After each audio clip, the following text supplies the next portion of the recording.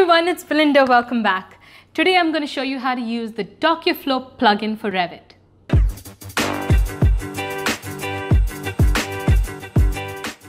For all its capabilities, Revit and Autodesk programs in general have a surprisingly frustrating PDF generating sequence. None of them have an inbuilt PDF creator and you can't specify things such as JPEG compression or even simplify the whole file naming process. It seems like you have to go through a dozen steps just to generate a single PDF.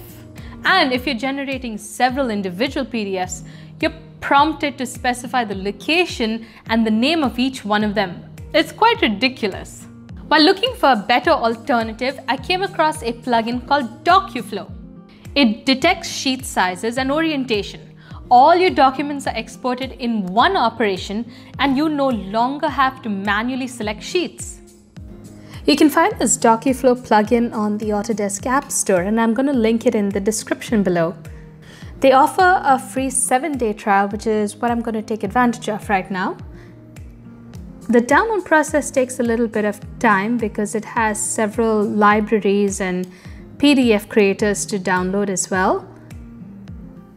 I'm going to fast forward through this download process.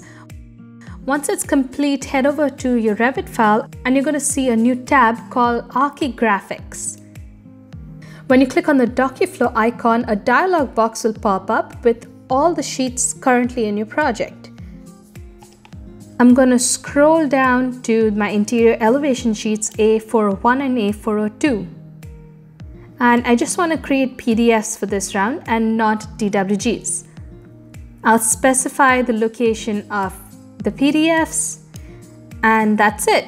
You can see it automatically detects the width and height of the sheets as well as the orientation, whether it's portrait or landscape.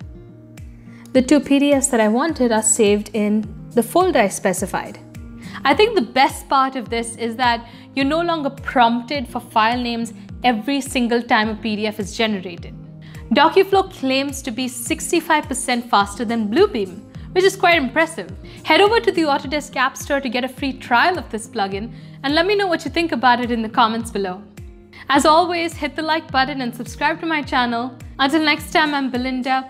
This is Automation and Building Construction. Thanks for watching.